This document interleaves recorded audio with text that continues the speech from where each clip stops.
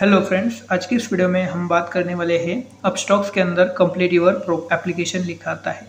जब भी हम यहाँ से बाय पर क्लिक करते हैं तो यहाँ पे कंप्लीट यूर एप्लीकेशन लिखा आता है।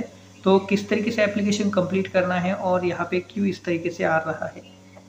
जैसे मैं यहाँ पे कोई शेयर है, इसको बाय करने की कोशिश करता हूँ बाय पर क्लिक किया, यहाँ पे देखिए कंप्लीट यूर एप्लीकेशन लिखा आता है। तो एप्लीकेशन कंप्लीट कैसे करना है?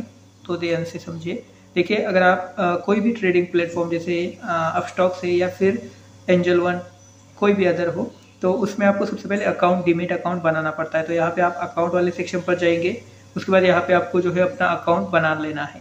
अब अकाउंट अगर आपका ऑलरेडी बना हुआ है तो उसको वेरीफाई भी करना होगा। तो इसके लिए हम ये शेयर पर क्लिक करेंगे।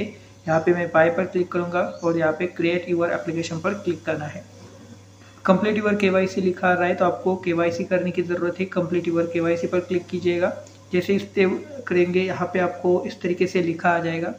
यहाँ पे आपको थोड़ा सा वेट करना है। कभी कभी ऐप जो है टाइम ले लेती है। अब यहाँ पे आपको कुछ चीज़ें दे देनी है। जैसे यहाँ पे देखिए, आपकी पैन कार्ड यहाँ पे चाहिए और आपकी डेट ऑफ़ बर्थ मांग रहे हैं। इसमें बहुत सारी चीज़ें आपसे मांगी जाती है। जैसे पैन कार्ड के अलावा आपको कौन कौन सी चीज़ें चाहिए, वो मैं आपको यहाँ पे दिखा देता हूँ। सबसे पहले पर्सनल वेरिफिकेशन होगा आइडेंटिटी वेरिफिकेशन यानी कि आपका फ़र्स्ट वाला हो जाएगा और सेकेंड वाला पैन कार्ड आपको डालनी है।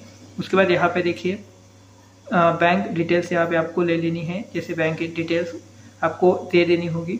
उसके बाद ब्रोकरेज प्लान अब ये ब्रोकरेज प्लान यहाँ पे आपको सिलेक्ट करना होता है और फाइनल स्टेप में आपको कंफर्म करना होता है।